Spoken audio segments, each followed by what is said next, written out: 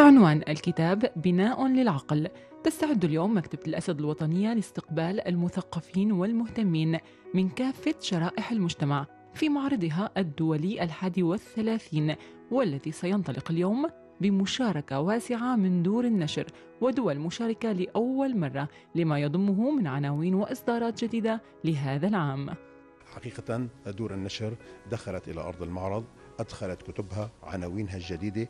الآن المعرض حقيقة يزدان بالكتب الجديدة. رفوف المعرض امتلأت آه، دور النشر المشاركة كلها استكملت إجراءاتها. حتى إدارة المعرض استكملت إجراءاتها لإقامة حفل الافتتاح. نتوقع أن تكون هذا العام المشاركة جيدة.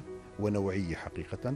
هذا من جهة ومن جهة ثانية أيضا أن يكون الحضور الجماهيري نتطلع أن يكون آه، يعني يتناسب مع أهمية هذا الحدث الثقافي الكبير الذي تشهده دمشق.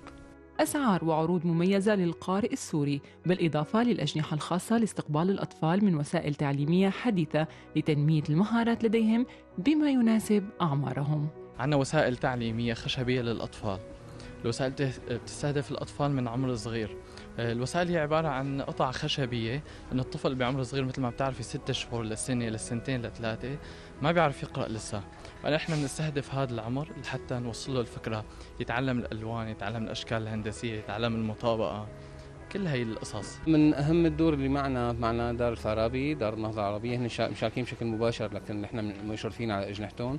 آه، معنا مركز دراسات الوحدة العربية. آه، معنا دار آفاق مصر آه، دار الجمال معنا دار صفصافة مصرية كمان ومعنا دار ألكا عراقية. العناوين تقريبا ما بين الدراسات الفكرية الفلسفية بالأخص الفلسفة الماركسية والفلسفية عموما في دراسات سياسية وفي القسم الأكبر ادب أدب مترجم بالأغلب. عندنا شيء مميز هي السنة كمان نحن لكل فاتورة قيمتها بتزيد 2000 وما فوق نسخة مجانا لكل حدا بيشتري وقيمة الفاتورة هيك.